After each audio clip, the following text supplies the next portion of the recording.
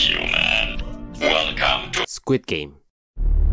Funny aside, Squid's inclusion to Will You Snail is an interesting one, mainly because he accompanies you and spams his entire army of spikes, then L plus ratios you.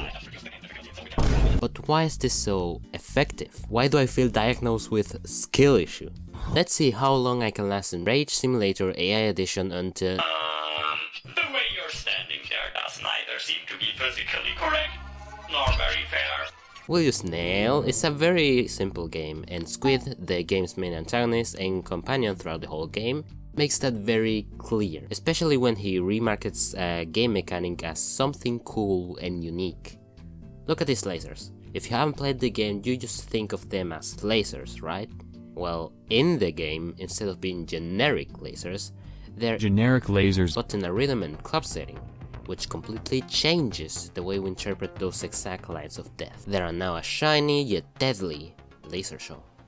Controlled by an insane AI is spamming skill issue gifts. To make you go less or more insane while playing Snail Explodes and Dies, Mr. Floating Squid Brackets will say things like I mean, it won't really be real because what a simulation isn't really real.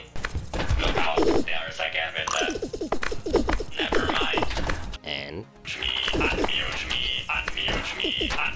These are one of Squid Companion Collection's highlights, because they cheer you up by doing the exact opposite.